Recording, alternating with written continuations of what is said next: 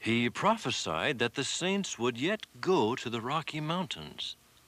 So wrote Anson Call in 1842, explaining that the prophet Joseph Smith stood with a tumbler of water in his hand. He further reported, This water tastes much like that of the crystal streams that are running from the snow-capped mountains.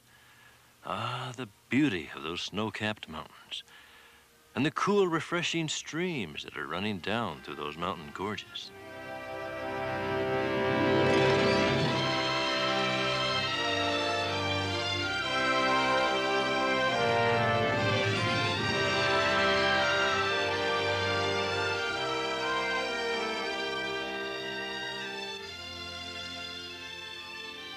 Each season in its own turn intrudes upon the last giving rhythm to time and marking the passage of the years. But there are those who say it was not always so. They say that in the faraway past, spring did not come. It was forever winter. For many years, ice covered a large part of the land that we know as North America. Then, as the climate warmed, the ice receded slowly, leaving behind great inland seas. Among these was Lake Bonneville. It is said that the lake at one time covered 19,000 square miles. The waters of this vast inland sea receded, leaving behind a shoreline 1,000 feet above the present valley floor. The mountains which had enclosed the shoreline of the ancient lake became a barrier to the outside. No river escaped to the sea, but flowed inward to the numerous small lakes and plains that became the Great Basin. One of the lakes, 80 miles long and 35 miles wide, became bitter and salty with minerals it could not send to the ocean. It became known as the Great Salt Lake. The rest of the basin left exposed by the retreating waters is as varied as it is vast. Much of it is desert land, alkaline valleys, sagebrush, greasewood, and cactus, forming a home for only the most resourceful animal life. The mountains of the Great Basin, more than 160 ranges of them, mostly stretching north to south, capture the rain and snow start the water on its way into the self-contained river systems of the basin. In these mountains, in easy reach of water, the wild animals of the Great Basin flourished. It was here that they found food, for the retreating lakes and the recurring snows and rains provided a near-perfect mineral balance in the fertile soil. Grass was plentiful, Inevitably into this vast enclosed area of mountains, rivers, and deserts came man. Several tribes of Indians dwelt here, Ute, Paiute, Shoshone, Navajo, or Goshute, traveling with tribes along the rivers of the basin, hunting and fishing, or moving their families across the desert valleys, digging sego roots, eating seeds, or the big black crickets so common in the foothills. These early inhabitants lived in the land around them. Not disturbing their environment, they survived in it. The first white men arrived in the Great Basin on September 23, 1776, from Santa Fe, looking for a commerce route to Monterey and access to goods shipped from Spain and Mexico. The men were ten in number, headed by the Catholic fathers Francisco Atanasio Dominguez and Francisco Silvestre Velez de Escalante. The journal of the expedition describes their route as northwesterly through the western part of what is now Colorado, then westward across the Green River, which they called Rio San Buenaventura, the Good Luck River, or the River of the Blessed Fortune the waterway to the west. The fathers continued up to Cheyenne Canyon, down Diamond Fork, and into Spanish Fork Canyon, which inherited its name from the two Spanish fathers. They camped by what is called Utah Lake and learned from the Indians their name for the lake, Timpanogo, or Fish Lake. The Indians themselves were called Timpanogotsis, or fish eaters. From the diary of the expedition, we learn the lake, which must be six leagues wide and 15 leagues long, extends as far as one of these valleys. It runs northwest through a narrow passage, and according to what they told us, it communicates with others much larger. The other lake, according to what they told us, covers many leagues, and its waters are noxious and extremely salty, for the Timpanois assure us that a person who moistens any part of his body with the water of the lake immediately feels much itching in the part of his body that is wet. But the fathers and their party did not explore the Salt Lake, nor did they cross to the ocean. In late September, on their way south, they cast lots and decided to proceed to Santa Fe. It was too late to cross the basin, and much too late to attack the Sierra Nevadas. They returned through southern Utah into Arizona, then east to the Colorado River. The swift current kept them from crossing there, so they went north up the river to a point where they were able to chisel steps into the sandstone to get their animals down to the level of the Padre Creek, which ran into the Colorado River. The place where they crossed has been named the Crossing of the Fathers. In the late 1700s, white men began to make their way into the basin area, hunting and trapping. Peter Skene Ogden of the Hudson Bay Company was one of the first trappers. Ogden and his company trapped along the course of the Bear River, the Logan River, and Blacksmith Fork. At one point in their journeys, William Kittson of the Ogden party wrote, We are now in a hole, as I may say, as the place is surrounded by lofty mountains. They called it Ogden's Hole. The many unexplored and untrapped waterways brought others. Outstanding among these was Jedediah Smith. In the late 1820s, he made several excursions into the Great Basin area, making maps and keeping notes of his travels. We dug holes in the sand and laid down in them for the purpose of cooling our heated bodies. Our sleep was not reposed, but tormented. Nature made us dream of things we had not and for the want of which it seemed possible or even probable that we would perish in the desert, unheard of and unpitied. They did not perish, but continued on into the Salt Lake Valley. Those who may chance to read this at a distance from this scene may perhaps be surprised at the sight of this lake, surrounded by a wilderness of more than 2,000 miles diameter, excited in me those feelings known to the traveler who, after a long and perilous journeying, comes again in view of his home. But so it was with me, for I had traveled so much in the vicinity of Salt Lake that it had become my home in the wilderness. Smith was serious in his regard for the area where he had endured so much. In 1830, he compiled his notes for publication with maps of other explorers and trappers and a corrected map containing other valuable information about his travels and about the Indians.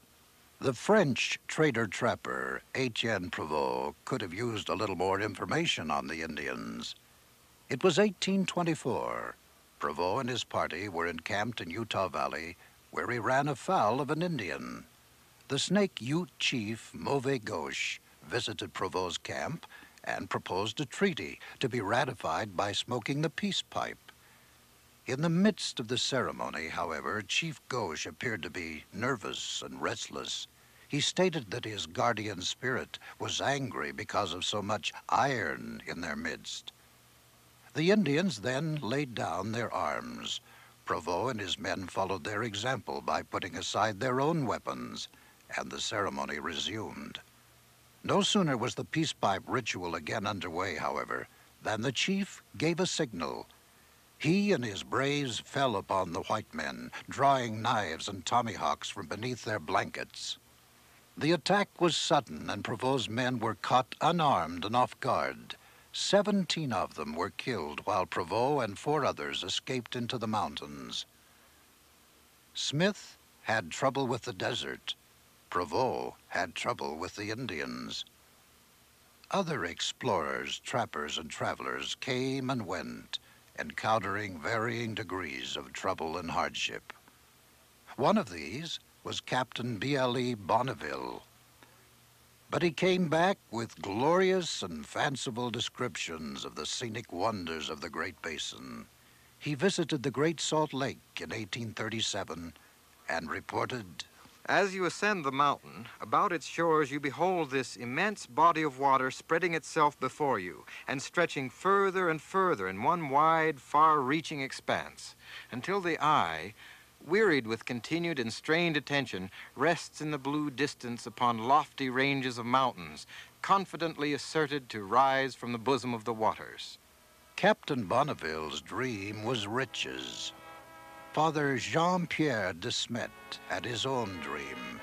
He dreamed of converting the Indians to Christianity and traveled to the Oregon Territory, setting up missions. He learned of the Great Basin through talking with others who had explored it. The most persistent dream of all was the old dream of the Buenaventura, the Good Luck River, the waterway to the Orient. In 1843, Colonel John C. Fremont organized a second party to survey and explore the Great Salt Lake and its surrounding country. Colonel Fremont had become known for his earlier work in exploring the Oregon Trail. He took with him the famed guide Kit Carson and one of Bonneville's trappers, Joseph Walker. They entered the Great Basin from the east spent two weeks exploring the eastern shore of the Salt Lake. Fremont's party went to an island now named for him, and from there they surveyed the lake. Kit Carson carved his signature and a cross in a rock on the island. They struck out west across the desert, heading straight toward Pilot Peak. They were on their own to travel across this desert. One Indian, a Ute, was prevailed upon to accompany them as a guide, but fear of other Indians overcame him and he turned back. Kit Carson took a scout party ahead, starting early in the morning. Fremont and main party started out about two hours before sundown and walked through the night. Shortly before dawn, they camped near a low ridge and built a signal fire with sagebrush.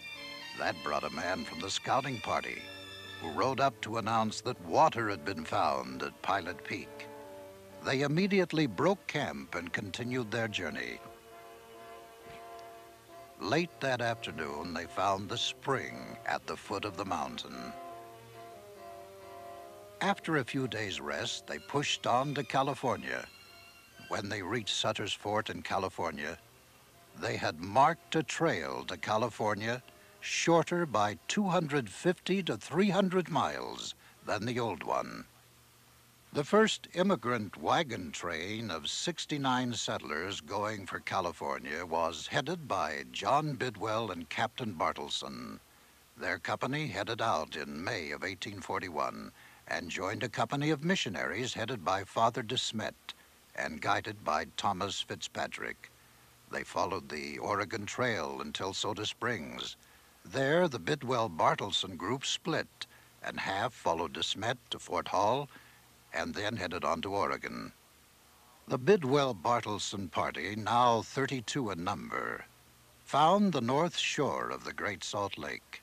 They had so much difficulty clearing a trail that they left the wagons, packed everything they could not carry on the oxen, mules, and horses, and headed on to California by way of the Humboldt River. It was now 1845, and the trail was ready for serious use by immigrants. Lansford W. Hastings, a veteran of Oregon Trail emigrations and an energetic promoter, put together a guidebook for emigrants. It included Fremont's discoveries, the latest maps, routes, and as he said on the title page, all necessary information relative to the equipment, supplies, and method of traveling. Hastings recruited four companies and started them out in succession on their way through to California. The Great Basin lay in wait. The first party was led by James Hudspeth. They went through on mules, missed the landmark Pilot Peak, but caught up with the trail along the Humboldt River. Hastings personally guided the third company. This was the second group to bring wagons through. They had such trouble negotiating Weber Canyon that Hastings left a note in a tree directing the fourth party to turn south. The fourth party was to become famous. It was the Donner Reed Party. They blazed the course through the Wasatch, which later became known as the Old Mormon Trail. It was used by the 49ers, the Overland Stage, Pony Express, and Johnston's Army. For 21 harrowing days, the Donner Party literally hewed its way the 36 miles through East Canyon and over big and little mountains to emerge upon the Salt Lake Valley they camped in the valley, resting themselves and reviving their cattle with the thick grass of the valley. On September 9th, they started on the next leg of their journey, the journey that was to take them across the desert and through the Sierra Nevada mountains into California. There were many forces working against them. The relentless tedium of the trip across the desert, the dry and barren salt flats where they were forced to abandon wagons and animals, the physical barrier of the Sierra Nevada, their own spent strength which could not last forever. But most of all, time was against them.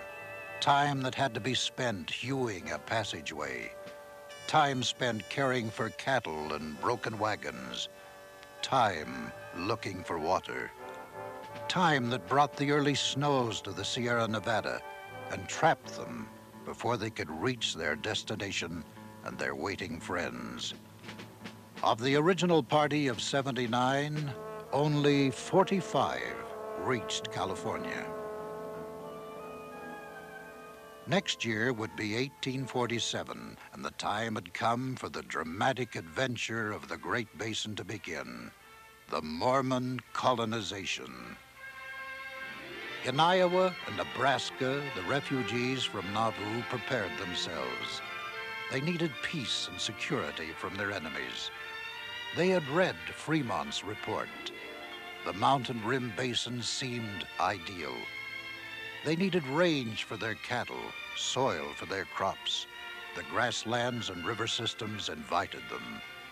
In Colorado, the Sick Detachment of the Mormon Battalion and the Mississippi Saints prepared to meet the Saints along the trail.